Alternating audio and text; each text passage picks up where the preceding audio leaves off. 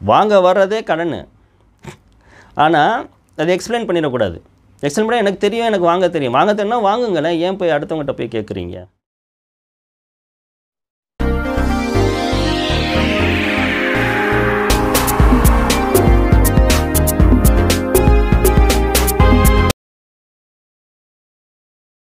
Hi viewers எல்லாம் வல்ல இறைவன் நம் அனைவருக்கும் நிம்மதியான சந்தோஷமான வாழ்க்கையை தந்தல்வானாக என்று சொல்லி பிரார்த்தித்தவனாக இந்த நிகழ்ச்சியை ஆரம்பம் செய்கிறேன். சேனலை முத தடவை பார்க்கக்கூடியவங்க மறக்காமல் சப்ஸ்கிரைப் பண்ணிக்கோங்க. அருகில் இருக்கக்கூடிய பெல் பட்டனையை அழுத்திக்கோங்க. அதன் மூலியமாக அப்கமிங் வீடியோஸ் வந்து உங்களுக்கு நோட்டிஃபிகேஷன் கிடைக்கிறதுக்கு ஈஸியாக இருக்கும். இன்றைக்கி நம்ம பார்க்க போகிற கண்டென்ட் என்னன்னு சொன்னாக்கா பாரோ அதாவது ஒரு ஆள்கிட்ட போயிட்டு நம்ம ஒரு பொருளை இதாக கேட்குறோம் பார்த்தீங்களா? ப கொஞ்ச நேரத்துக்கு யூஸ் பண்ணிட்டு தரேன் அப்படின்னு சொல்லிட்டு பாரோவை வாங்குகிறோம்ல அதை பற்றி ஒரு ஒரு சின்ன விளக்கத்தை வந்து நான் கொடுக்கலான்னு சொல்லி ஆசைப்பட்றேன்.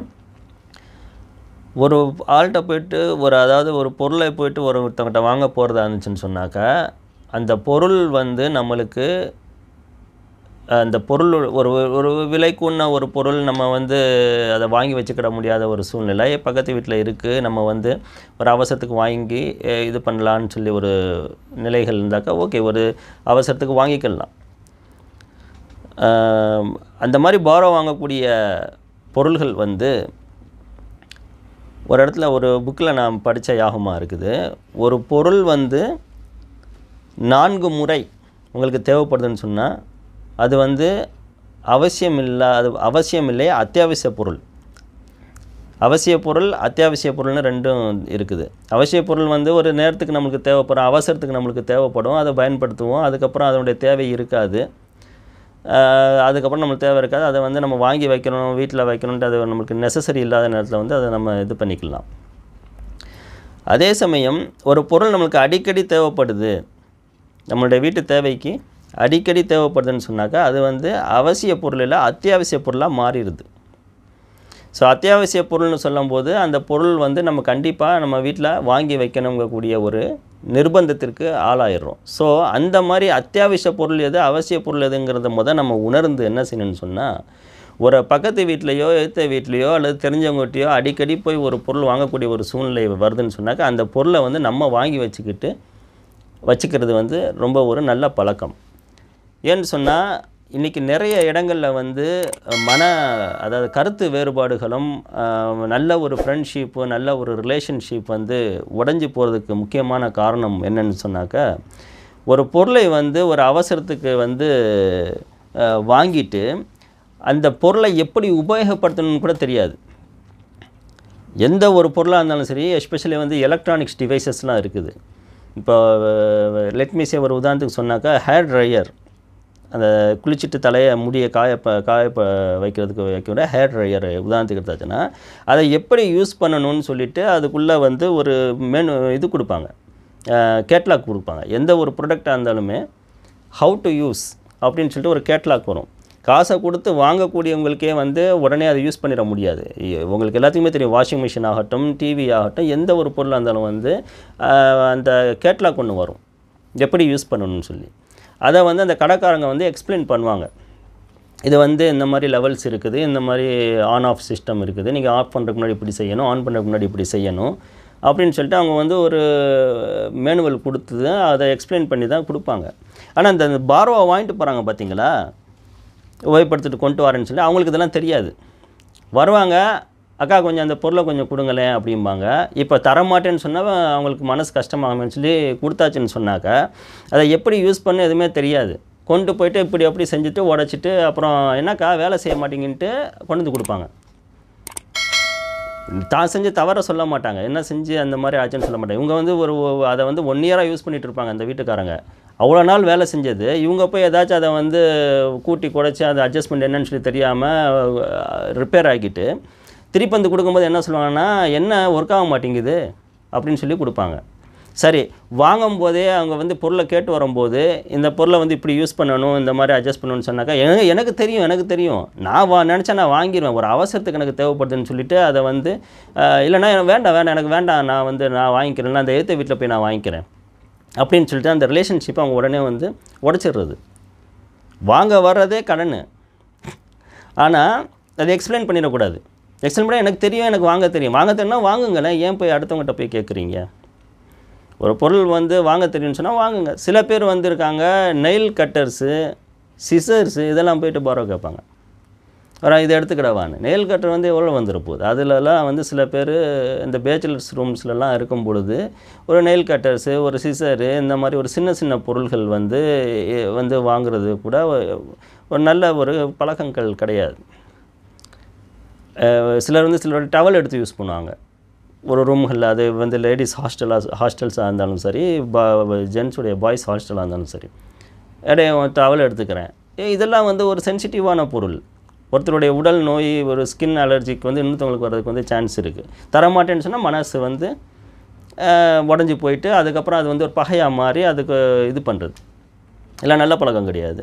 என்னுடைய ஒரு எங்கள் எங்களுடைய அண்ணனுடைய கடையில் நடந்த ஒரு விஷயத்தை நான் சொல்லிவிட்டு இந்த கண்டென்ட் வந்து நான் நிறைவு செய்கிறேன் எங்கள் அண்ணன் வந்து இது வாங்கினாங்க. கேஸ் கேண்டில் ஒன்று அது பார்க்க வந்து அதனுடைய ஷேப் பார்க்கும்போது மெழுகுவர்த்தி மாதிரியே இருக்கும். கலர் கலரான கேண்டில்ஸ் கேண்டில்ஸ் மாதிரியேவும் அது வரும். ஒரு சின்ன பொடி சிலிண்டர் மாதிரி வரும். அதுக்கு மேலே வந்து ஒரு கேஸ் இது கொடுத்துருப்பாங்க. அதை அப்படி டேர்ன் பண்ண உடனே கே ஆன் ஆயிரும். ஆட்டோ ஆட்டோ ஃபிலேம் அது. அதில் வந்து மூணு லெவல்ஸ் கொடுத்துருந்தாங்க. ஃபஸ்ட்டு வந்து டேர்ன் ஆன் அதுக்கப்புறம் லோ அதுக்கப்புறம் மீடியம் அதுக்கப்புறம் ஹை ஹை ஃப்ளேம் வரும். ஸோ அந்த வந்து அதுக்கு தக்கன நம்ம இடத்துக்கு தக்கன நம்ம வந்து அட்ஜஸ்ட் பண்ணி வச்சுக்கிடலாம். கீழே வந்து கேஸ் ரீஃபில் பண்ணுறதுக்கு இது கொடுத்துருப்பாங்க. கேஸ் காலி ஆச்சுன்னா ரீஃபில் பண்ணிக்கலாம். அது வந்து அந்த நேரம் அந்த மாடல் வந்த புதுசில் எங்கள் அண்ணன் வாங்கி கடைக்கு ஆண்டி வச்சுருந்தாங்க. அதை ரொம்ப அவர் வந்து பக்குவமாக யூஸ் பண்ணுவார். ச வாங்கின பொருள் இதாகிடக்கூடாதுன்னு சொல்லிட்டு ரொம்ப பக்குவமாக யூஸ் பண்ணுவாங்க இதை பார்த்துக்கிட்டே இருந்த ஒரு பக்கத்து கடைக்காரர் என்ன செஞ்சார் கரண்ட் இது பவர் கட் ஆன உடனே அவருக்கு பவர் கட் ஆகலை அவங்க கடையில் வந்து ஏதோ ஒரு எலக்ட்ரிக் ஷார்ட்டேஜ் என்னமோ ஆகி க டக்குன்னு ஈவினிங் டயத்தில் வந்து இதாயிடுச்சு கரண்ட் போயிடுச்சு போன உடனே மெழுகுவத்தி தேடி எடுக்க முடியலன்னு சொன்ன உடனே அண்ணன்ட்ட வந்துட்டு அண்ணே அண்ணன் அந்த உங்கள் உங்கள்கிட்ட கேண்டில் கொடுங்கண்ணேன்னு சொல்லிட்டு இப்போ அண்ணன் எக்ஸ்பிளைன் பண்ணுறப்ப இல்லை இல்லை எனக்கு தெரியும் நான் பா எனக்கு தெரியும்னு சொல்லிட்டு போய் வாங்கிட்டு போய் என்ன பண்ணிட்டாருன்னா அந்த லெவல்ஸ் இருக்குது பார்த்தீங்களா ஃபஸ்ட்டு வந்து டேர்ன் ஆனு அப்போ தான் ஃப்ளேம் விளக்கு எரியும். அதுக்கப்புறம் தேவைன்னா ஃபஸ்ட்டு லெவல் லோவில் வச்சுக்கலாம் மீடியமில் வச்சுக்கலாம் ஹையில் வச்சுக்கலாம். இவர் வாங்கிட்டு போயிட்டு கோழியை கருத்து இருக்கும்போது ஒரு திருக்கு.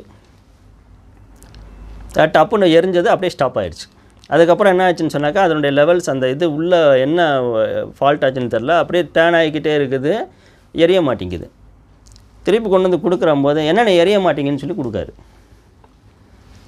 என்னென்ன எரிய மாட்டீங்க? என்ன இது? இல்லை ரிப்பேர் ஆனது கொடுத்துட்டீங்களான்னு சொல்லிட்டு அப்படியே மாற்றி வந்து சொல்லி கொடுக்காரு. இப்போ இந்த இடத்துல ஏ இப்படி ரிப்பேர் பண்ணிட்டீங்கன்னு சொன்னாக்கா இதாயிரும்.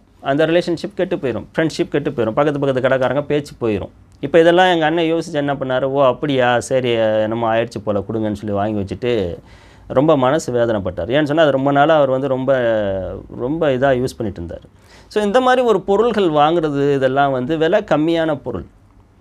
இதெல்லாம் விலை கம்மியான பொருள். சரி ஒரு ஒருத்தரை பார்த்து ஒருத்தர் வாங்கல தப்பு கிடையாது. இப்போ நான் நம்ம ஒரு பொருளை நம்ம வாங்குறோம் அதை பார்த்துட்டு பக்கத்து வீட்டுக்காரங்க வாங்குறாங்க அல்லது பக்கத்து வீட்டுக்காரங்க வாங்கக்கூடிய ஒரு பொருள் வந்து நல்லா இருக்குன்னு சொன்னால் அவங்ககிட்ட கேட்கலாம் நல்லா யூஸாக இருக்குதா? சரி ஓகே எவ்வளோவுக்கு வாங்குனீங்க என்ன வாங்குனீங்கன்னு சொல்லிட்டு அதுக்கப்புறம் நம்ம வந்து ஒரு பொருள் வாங்கி வச்சுக்கிடலாம்.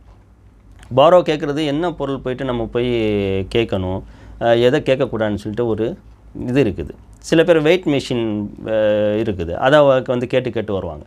அதெல்லாம் எவ்வளோ வந்துடும் ஆயிரரூபா ரெண்டாயிரரூபா ரொம்ப கம்மியான விலை. இன்றைக்கி வந்து எல்லாமே வந்து ரொம்ப இதாக சீப்பாக கிடைக்குது. சின்ன சின்ன பொருள்களை போயிட்டு கேட்குறது அதனால் என்ன ஆகும்னு சொன்னாக்கா ஒரு ரொம்ப வருஷம் பழகுன ஒரு நல்ல நட்புகள் கூட வந்து இடைவெளி விழுந்துடும் கிராக் ஆயிரும். அதில் வந்து ஒரு இது கீறல் விழுந்துடும் நல்ல நெருங்கி பழகின நட்புகளில் வந்து சின்ன ஒரு மனஸ்தாபம் வந்துச்சுன்னு சொன்னாக்கா கண்ணாடியில் வந்து கீறல் விழுகிற மாதிரி. அதுக்கப்புறம் எவ்வளோ ஒட்டினாலுமே வந்து அதில் இந்த முகம் சரியாக தெரியும் இரண்டாக தான் தெரியும். ஸோ அந்த மாதிரி ஒரு சின்ன ஒரு பொருள் வாங்குறதுனால அந்த மாதிரி மனஸ்தாபங்கள் வருவதற்கும் உறவு முறைகள் பிரிஞ்சு போகிறதுக்கும் இடம் கொடுக்காதீங்க. தயவு செஞ்சு. நான் எல்லாத்தையும் சொல்லலை.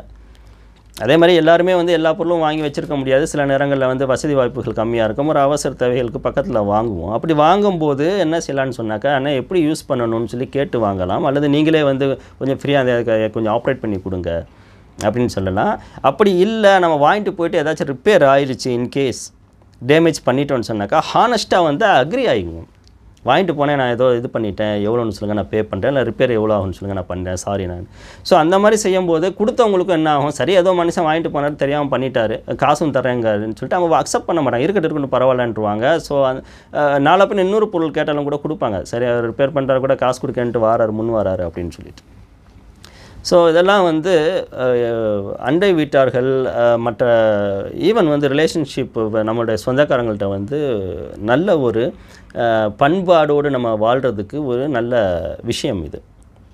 சின்ன சின்ன பொருள்கள் போய் வாங்க போயிட்டு அங்கே வந்து அதன் மூலியமாக வந்து பல வருஷம் பழகின ஒரு நல்ல நட்பு வந்து உடச்சிருக்கிறாங்க. அதே மாதிரி வாகனங்கள் வாங்குறது அப்படித்தான். தான் ஒரு அவசரத்துக்காண்டி வண்டி வாங்குவாங்க. கேட்பாங்க பக்கத்து வீட்டில் போயிட்டு. கொடுத்தாக்கா அந்த எங்கிட்டாச்சும் போய் லேசாக டேமேஜ் பண்ணிவிட்டு எங்கிட்டாச்சும் போய் இடிச்சிட்டு பிரச்சனை ஆன பிறகு அதை ஒன்றுமே சொல்லாமல் வந்து ரிட்டர்ன் கொடுத்துட்டு போயிடுவாங்க கொண்டு போனேன். இந்த மாதிரி ஆச்சுன்னு சொல்ல மாட்டாங்க. அதே மாதிரி அந்த வண்டியுடைய ஓனருக்கு தெரியும். அந்த வண்டியை வந்து டெய்லி தொடச்சி சுத்தம் பண்ணி வைக்கக்கூடிய அந்த மனிதருக்கு தெரியும். இந்த வண்டி எப்படி இருந்துச்சுன்னு சொல்லி ஒரு இவர் வாங்கிட்டு போயிட்டு வந்துட்டு ஒரு ஸ்க்ராட்ச் ஆகிருக்கும் ஸ்க்ராட்ச் ஆனதை நம்ம போய் கேட்டோம் கேட்டோம்னு சொன்னாக்கா நீங்கள் கொடுக்கும்போதே அப்படி தான் இருந்துச்சு. இதுக்கு தான் நான் வண்டி வாங்கக்கூடாதுன்னு நினச்சேன் உங்ககிட்ட. ஒரு அவசரத்துக்காண்டி தான் நான் வாங்கினேன்னு சொல்லிட்டு செஞ்ச தப் தப்பும் செஞ்சுட்டு அதை வந்து கேட்டுற கேட்குற ஆளுடைய மனசு நோகிற மாதிரி பேசி அதை வந்து இது பண்ணுவாங்க.